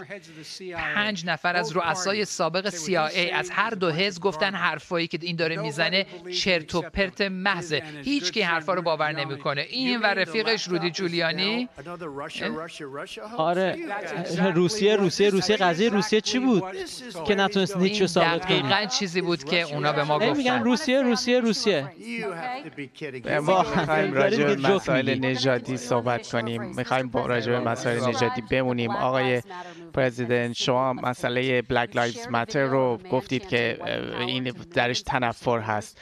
شما چیزایی رو شیر کردید روی توییترتون که درست نبود و همینطور کار دیگه انجام دادید که شما به اون آمریکاییایی که میگن شما به عنوان یک رئیس جمهور کارهایی که کردید منجر شده که به نفرت بیشتر بیانجامه. اولین باری که صحبت جنبش جان سیاست مداران اهمیت دارد در موردش رو شنیدم. داشتن می‌گفتن که می‌گفتن که پلیس ما خوکه. داشتن همچی توهینی می‌کردن به پلیس ما توی تظاهراتشون. این اولین باری بود که من با اونها آشنا شدم. اولین باری بود که این عبارت رو شنیدم. اما در ارتباط با رابطه من رابطه من با همه افراد من فکر کنم رابطه خوبی با همه افراد دارم. من تو این تو این سالن کسی به اندازه من هایی که نگران این موزگیری های شما هستن؟ چی میگید من چی به شما بگم؟ گفتم من اصلاح کردم نظام غذایی ما رو. این آیا به نفع سیاه‌پوستان نبود؟ من بودجه کالج های سیاه‌پوستا رو بیشتر کردم. دیگه چی باید به شما بگم؟ من نباید به کسی توضیح بدم. واقعا جای تاسفه من شما از من کمتر نجات پرست تو این اتاق تو این سالن پیدا نمی‌کنید البته اینجا خود تاریکه. من نمی‌دونم کی تو این جمعیت هست ولی کسی اینجا ضد نجات پرست نخواهد بود باشه. خب آقای بایدن خیلی سریع. ابراهام لینکن یکی از نجات پرسترین رؤسای جمهوری آمریکاست که این فکر می‌کنه. این داره در هر جایی که شعله نجات پرستانه به پا هست روش نفت میریزه. داره راجع به مکزیکیا رو میگه مکزیکیا متجاوز هستن. مسلمونا رو راه نمیده به کشور چون مسلمون هستن. در تمام حوزه ها داره همه چی رو بدتر می‌کنه. اون گروه ها جماعت های نژادپرست رو militia های نژادپرست رو بهشون گفتش که آماده باش باشی در حالت آماده باش سر ببری. آقای ترامپ ده ثانیه بهتون وقت میدم که پاسخ تو از ابراهام لینکلن من که همچین چیز گفتم راجع ابراهام لینکلن؟ تو گفتی ابراهام لینکلنی. نه نه. من گفتم از زمان ابراهام لینکلن کسی به اندازه من برای سیاه‌پوستا کار نکرده. و من دارم میگم من نگفتم من آبرام لینکلن گفتم از زمان آبرام لینکلن کسی به اندازه من کاری برای سیاه‌پوستا نکرده. حالا شما تو هیچ کاری نکردی. به جز اینکه قانون جن... جنایی که به ضرر سیاه‌پوستا بود. چند هزار نفر از مردان سیاه پوست به واسطه قانون تو به زندان افتادن. آقای بایدن ببین داره چه اتفاقی میفته؟ بذارید از آقای بایدن چه رفتاری داشتی با سیاه پوستا؟ خیلی بد. نگاه کن ببین چه اتفاقی آقای بایدن بذارید به شما فرصت میدم که در همین فرصت بید. شما در دهه 80 و 90 اقداماتی انجام دادید و قوانین داشتین که باعث شد که تعداد بسیار زیادی دستگیر بشن. اونها فرزندانشون اموهاشون تا همین امروز بعضی از اونها از عواقب اون اتفاق زجر می‌کشن. چرا اینا باید به شما رأی بدن؟ ببینید در دهه 80 بیش از 400 سناتور رأی دادن راجع به یک طرح در ارتباط با مواد مخدر. اون یک اشتباه بود. من سعی کردم که اون طرح رو عوض بکنم. مخصوصا اون بخشش که مربوط به کوکائین میشه. برای همین گفتم هیچ کی رو نباید به خاطر یک جرم کوچیک مواد مخدر به زندان بفرستن. اونها رو باید بفرستن به درمانگاه. پولمون رو باید اینجا خرج بکنیم. برای همین دادگاه های ویژه رسیدگی به جرم مواد مخدر رو برپا کردم نباید این جور مجرمین کوچکی که در ارتباط مواد مخدر یا مشروب دستگیر میشن نباید اینا رو بفرستیم زندان. اینا رو باید بفرستیم به درمانگاه. کاری که ما باید انجام بدیم کاری که من انجام خواهم داد برای اینکه مردم آمریکا دیدن که اون موقع اون قوانینی که در دهه 80 تصویب کردیم اشتباه بود. اما اون در اون قانون خب نبود. قبلا این کارو نکرد؟ ببین همش حرف و عملی در کار نیست. چرا قبلا این کارو نکرد؟ من این کارو می‌کنم من اون کارو می‌کنم وقتی من رئیس جمهور بشم شما 8 سال معاون رئیس جمهور بودی با اوباما؟ نبودی؟ 8 سال. چرا نکردی این کارا رو؟ 8 سال وقت داشتی حالا میگی که می‌خوای انجام بدی؟ تو همش حرف می‌زنی و عملی در کار خیلیشو انجام دادیم. خیلی انجام دادیم هیچ کاری نکردی. 38 هزار زندانی آزاد کرد در دوره ما. 38 زندانی در دوره ما از زندانهای فدرال آزاد شدن. بیش از هزار نفر بودن که عفوشون کردیم. ما اونهایی بودیم که اون طرحی رو از تصویب گذروندیم که نگاه بکنیم به نیروهای انتظامی که چه جوری دارن با مجرمی برخورد می‌کنن. می‌تونم بیشتر توضیح بدم. اما ما این روند رو کلید زدیم. ما روند رو کلید زدیم. بعد انتخابات رو باختیم. نشون روند رو ادامه بدیم. برای همین الان من می‌خوام رئیس جمهور بشم که دوباره تو روند رو از سر بگیریم. چرا؟ نکردی این کارو؟ تو اون هشت سالی که معاون رئیس جمهور بودی وقت خیلی خیلی هم ازش نگذشت از اون موقع. چرا تو اون هشت سال نکردی این کارو؟ ده ها هزار افرادی که عمدتا جوانهای سیاه‌پوست بودن رو به زندان انداختی. حالا میگی که می‌خوای جبران کنی؟ چرا اون موقع جبران نکردی تو اون هشت سال که با اوباما بودی؟ برای اینکه برای اینکه تو همش حرف می‌زنی و عملی در کارت نیست. بذارید باید بریم سراغ یک بخش کنگره که دست جمهوری خواه بود. جوابش اینه. خیلی خوب. خب باید باشون صحبت می‌کردی تشویقشون می‌کردی جو اجازه ها؟ بدید. باید بریم به بخش بعدی. چطور؟ همونطور کاری که من کردم با اصل- اصلاح قانون جنایی تو کشور با هیچ کار نکردی نداریم. باید؟ بریم سراغ بحث تغییرات اقلیمی. شما نگاه های متفاوتی در مورد تغییرات اقلیمی دارید. شما آقای ترامپ گفتید که ضرر داره برای کارها شما گفتید که شما تغییرات اقلیمی رو به عنوان یک اه، راهکاری می‌بینید برای ایجاد کارهای بیشتر. شما چطور فکر می‌کنید که همزمان با این که بتونید تغییرات اقلیمی رو باش مقابله بکنید می‌تونید کار ایجاد کنید. آقای ترامپ شما. الان این برنامه یک تریلیون درخت هست. من عاشق محیط زیست هستم. الان آب و هوای ما شفاف و زلال و تمیزه. ما الان بهترین کیفیت خروج کربن رو داریم؟ ولی من شنیدم که اوباما از این اصطلاح استفاده کرده من استفاده نکردم. ما بهترین آمار تصاعد کربن رو داریم در چندین سال تحت دولت من. ما با صنایع همکاری کردیم و الان میگیم که به چین نگاه کنید چقدر کثیفه چقدر کثیف می‌کنه محیط زیست رو. به روسیه نگاه کنید به هند نگاه کنید واقعا هوا و هوایی که اونا دارن خیلی فاجعه است خیلی کثیفه. و بعد این توافق پاریس می‌خواست که تریلیون ها دلار هزینه بشه و این آقا فکر کرد که خیلی خدمت خوبی در حالی که خیانت بزرگی بود به کشور ما. من نمی‌خوام ده ها میلیون شغل هزاران هزار شرکت آمریکایی رو فدا کنم به خاطر توافق پاریس. خیلی غیر منصفانه است. چین تا سال 2030 وارد این قضیه نمیشه. روسیه میره به سمت استاندارد پایینتر و اون وقت ما باید به این توافق عمل می‌کردیم. بنابراین گوش می‌کنید به من. ما خیلی کار خوبی کردیم خیلی کارنامه خوبی داشتیم در ارتباط با محیط زیست زیست هوا و خاک ما خیلی تمیز هستن که در چندین سال سابقه نداشتیم. و در ضمن صنایع- صنایعمون هم تخریب نکردیم. تغییرات اقلیمی گرمتر شدن کره زمین اولین مهمترین خطر به بشریت هست. ما یک وظیفه اخلاقی داریم که باش مقابله بکنیم. تمام دانشمند سرآمد دنیا گفتن که ما وقت زیادی نداریم. به این نقطه غیر قابل بازگشت در ظرف 8 تا 10 سال آینده می‌رسیم. چهار سال در دوره تصدی این آقا تمام ضوابطی رو که کمک می‌کرد که محیط زیست رو تمیز بکنیم و جلوی انتشار گازهای گلخانه‌ای رو بگیریم همه اینا رو حذف کرد. ما رو در موقعیتی گذاشت که تو این وضعیت و مخمسه بیفتیم. الان اینجاست که ما فرصت خوبی به دست آوردیم. ما تونستیم تمام من تونستم تمام سازمان های زیست محیطی و اتحادیه کارگری که نگران اشتغال بودن که حمایت بکنن از طرح من در ارتباط با تغییرات اقلیمی برای اینکه طرح من شغل های جدید میلیون ها شغل جدید ایجاد خواهد کرد. ما سرمایه گذاری خواهیم کرد در پنجاه هزار پنجاه هزار ایستگاه تزریق برق به خودروها در اتوبان‌های ما. کاری که چین داره انجام می‌کنه. طرح من اجازه خواهد داد که در موقعیتی قرار بگیریم که بتونیم چهار میلیارد چهار میلیون خانوار رو ورداریم و اونها رو کاری بکنیم که انرژی زیادی رو هدر رفت نکنن از دست ندن. بتونیم یک عالمه نفت رو صرف جویی بکنیم و شغل زیاد ایجاد بکنیم. ضمنا تمام ایده طرح من برای مقابل تغییرات اقلیمی ایجاد میلیون ها شغل هستش پاکسازی محیط زیست هستش و مشاغل جدیدی که احتمال داره از دست برن. خود وال استریت خود وال استریت گفت که طرح من اتفاقا 18 میلیون شغل جدید. 7 میلیون بیشتر از شغلی که این طرحی که این آقا می‌خواد ایجاد بکنه شغل ایجاد خواهد کرد.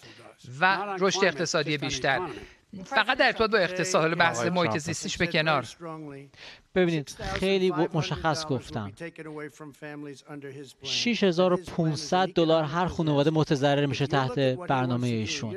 اگه نگاه کنید به کاری که می‌خواد بکنه. به برنامهش نگاه کنید به برنامه ربطی به تغییرات اقلیمی نداره. کی نوشته اینو؟ الکساندریا اوکاسیو کورتس نوشته که هیچ هم نمی‌دونن. هیچ ربطی نداره به ربطی به محیط زیست اصلا نداره.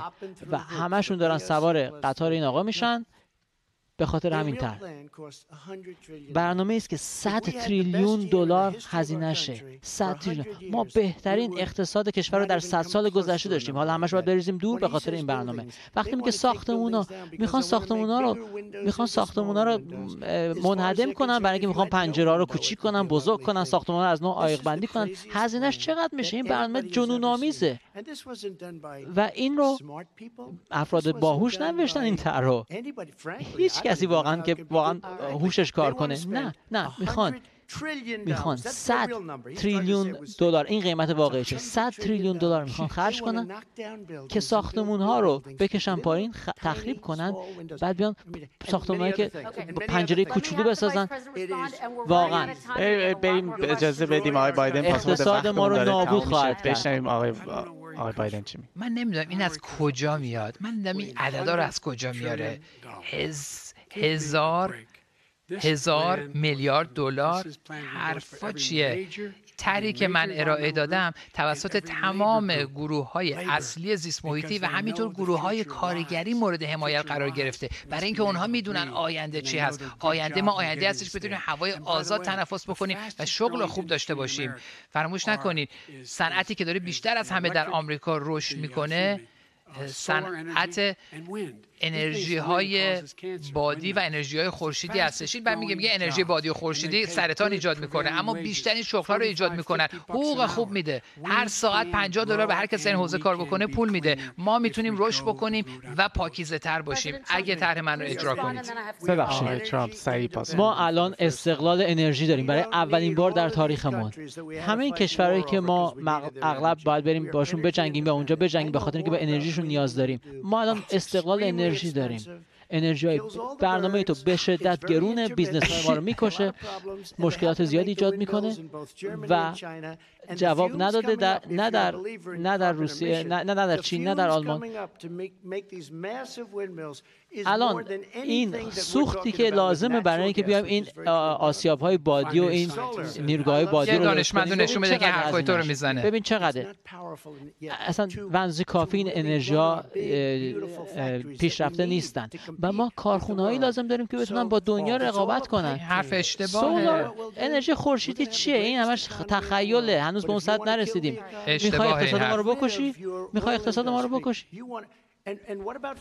اما fracking چی؟ fracking الان وقتشه که سوال fracking رو بپرسیم. موضوعش چیه؟ من هرگز نگفتم من مخالف fracking هستم. نشون بده. نوار رو نشون بده. بذارش تو وبسایتت واقعیت اینه که این داره دروغ میگه. آیا شما fracking رو قطع بله من نگفتم fracking رو ممنوع می‌کنم اصلا منتفی این حرف.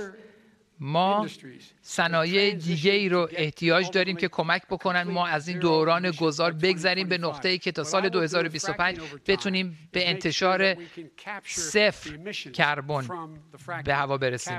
ما گفتیم که کاری خواهیم کرد که کربن رو از فرکینگ میایم در هوا می‌گیریم. ما می‌تونیم این کارو بکنیم اگه سرمایه گذاری در فناوری های لازم رو انجام بدیم. یک دوران گذاره سوال دیگه دارم. باید قبلا علیه fracking بود؟ اینو گفته قبلا؟ نشون بده. گفته بود. من ضد fracking هستم بعد رفت پنسیلوانیا و می‌دونید که اهالی پنسیلوانیا چی می‌خوان؟ برای اینکه همشون ضد. ضد این قضیه من گفتم fracking در اراضی فدرال این سوال آخر رو بکنم از شما و بعد برم سراغ بخش آخر. آقای ترامپ انسانهایی که رنگین پوست خیلی نگران هستن به خصوص در مورد مراکز انرژی که نگران هستن فکر می‌کنن اونها رو مریض کرده. چرا این خانواده ها باید چهار سال دیگه به شما وقت بدن که رئیس جمهور باشید؟ باز خانواده که در موردش صحبت می‌کنیم در استخدام همین پالشگاه ها و تاسیسات هستن. اگر به تعدادشون نگاه کنید ما اگه به آماری که ایجاد کردیم ثروت و اشتغالی که ایجاد کردیم برای هیسپانیکا برای آسیایی ها برای سیاه‌پوستان در مقایسه با دولت 8 سال دولت ایشون این ایشون و اوباما ها نه برابر وضعشون بهتر شده. من هنوز این آماری که شما بگین نشنیدم اما دارن پول خیلی خوبی در میارن. از نظر اقتصادی. ما اینو گفتیم قبلا گفتم وقتی که قیمت نفت داشت می‌رفت پایین به خاطر همهگیری ما نجات دادیم این صنایع و این افراد رو. ما الان عربستان سعودی رو داریم مکزیک رو داریم و روسیه رو داریم. از اونها خواستیم که تولیدشون رو کم کنن و ما صنعت نفتمون رو نجات دادیم که الان خیلی خوب کار می‌کنه. آقای بایدن پاسخ شما و سوال آخر. واکنش من اینه. اون آدم هایی که در نزدیکی تأسیسات شیمیایی زندگی می‌کنن که هیچی از اون سر در نمیاره. کسایی که نزدیک تأسیسات شیمیایی و تأسیسات آلاینده نفتی زندگی می‌کنن من اونجا بچه بودم زندگی می‌کردم. تمام این پالایشگاه های نفت توی اطراف رودخونه دلور در جاهای مختلف از جمله در هیوستن رو میدیم. وقتی من یادمه که مامانم من می‌برد مدرسه ما نگاه می‌کنیم میدیم یک عالمه نفت روی پنجره های ماشین ما نش کرده بود. اون همه آدم اونجا میبردن سرطان می‌گرفتن. اون جوامع محلی زندگی می‌کنن. مهم نیست چقدر بهشون پول میدین چه شغلی براشون ایجاد می‌کنین. چجوری اونها رو امن نگه میدارین؟ شما باید آلاینده ها رو محدود بکنین ضوابط بزنین اجازه ندین پالایشگاه آلایندگی ایجاد بکنن خیلی خوب یک سوال آخر ببندین تاسیسات نفتی رو من دارم میگم ما به یک دوران گذار باید بریم. از دوره نفتی باید عبور بکنیم. بله یک پروژه بزرگی هستش. چرا این کارو می‌کنه برای اینکه صنعت نفت آلوده می‌کنه آلایندگی ایجاد می‌کنه. اگه بذارید من تمام بکنم حرفمو برای اینکه باید جایگزین بشه با انرژی های پاک و تجدیدپذیر در یک دوره طولانی. من نمیام سوبسید و یارانه بدم به صنعت نفت.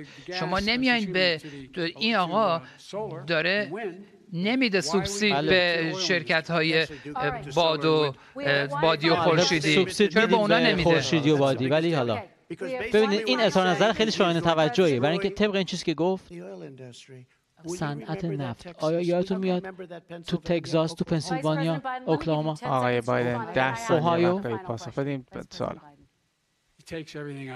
این همه چیز رو از چارچوب در میاره تحریف می‌کنه. واقعیت اینه که ما باید بتونیم به نقطه برسیم که دیگه هیچ کربنی منتشر نکنیم در هوا تا سال 2035 آیا چین وادار می‌کنه که این کار رو بکنه؟ بریم سراغ من بله به توافق پاریس ملحق میشم و کاری خواهم کرد که چین طبق اون چه که توافق کرده عمل بکنه. بحث رهبری و سوال اول من. برای شما آقای ترامپ. فکر کنید که امروز روز تحلیف شماست. چه خواهید گفت به آمریکایی هایی که به شما رأی ندادن؟ یک دقیقه وقت خواهید داشت. باید کشورمون رو کاملا موفق کنیم. همونطور که قبل از این همه گیری بود. ما این رو دوباره خواهیم ساخت کشورمون رو. ما در یک مقطع کوچکی به صورت رکورد شغل ایجاد کردیم. اما قبل از اینکه این تا اون اومد ما رو دچار خودش کرد من تماس های تلفنی داشتم از افرادی که معمولا با حزب ما تماس نمی گرفتن مثلا سیاه ها هیسپانیک ها زن ها آسیایی تبارها. کسانی که دیپلم داشتن دیپلم نداشتن فارغ التحصیل های MIT همه همه بهترین وضعیت اقتصادی رو داشتن و می‌خواستن که با هم دیگه باشن و بهترین نتیجه رو برسن. موفقیتی که کشور ما رو متحد می‌کنه مردم ما رو متحد می‌کنه. من می‌خوام مالیات ها رو کم کنم. ایشون می‌خواد مالیات همه رو اضافه کنه بروکراسی رو بیشتر کنه. و اگر این کارو بکنه دچار رکودی خواهیم شد که سابقه رو ندیدین. شما به فرمای 401 کیتون نگاه کنید ببینید چه وضعی دچارش خواهید شد خیلی خب آقای بادن همین سوال برای شما شما در طول در زمانی که دارین تحلیف میشی تحریر مراسم تحلیف شما برگزار میشه. چه خواهید گفت؟ آمریکایی‌ها شما رأی ندادن. من بهشون میگم من رئیس جمهور شما هستم. شما به من رأی ندادین. ولی اطمینان حاصل خواهم کرد که صدای شما شنیده بشه. بهتون امید میدیم. دانش رو بر خرافات ترجیح میدیم. ما رو به جلو خواهیم رفت برای اینکه فرصت های فراوانی پیش روی ماست. برای بهبود امور. ما می‌تونیم اقتصاد رو بزرگتر بکنیم. ما می‌تونیم با نجات پرستی نهادی نشده برخورد کنیم. همزمان می‌تونیم کاری بکنیم که اقتصاد توسط انرژی های پاک و تجدید پذیر میچرخه و میلیون ها شغل جدید ایجاد می‌کنه. واقعیت اینه. این کاری است که ما انجام خواهیم داد. همونجور که اولا من گفتم تکرار خواهیم کرد. اونچه که در گرو این انتخابات هست کرامت احترام. رفتار کردن با آدم ها اون جوری که حقشون هستش اون جوری که کرامتشون هست. من اطمینان حاصل خواهم کرد که با مردم اینجوری رفتار بشه طوری که در چهار سال گذشته رفتار نشده. خیلی ممنون. می‌خوام از هر دو شما بابت این یک ساعت و نیم جالبی که برای ما ساختید تشکر بکنم. پرزیدنت ترامپ و معاون پیشین جو بایدن ممنون از Belmont University که ما رو میزبان ما بودن. روز انتخابات روز سوم نوامبر هست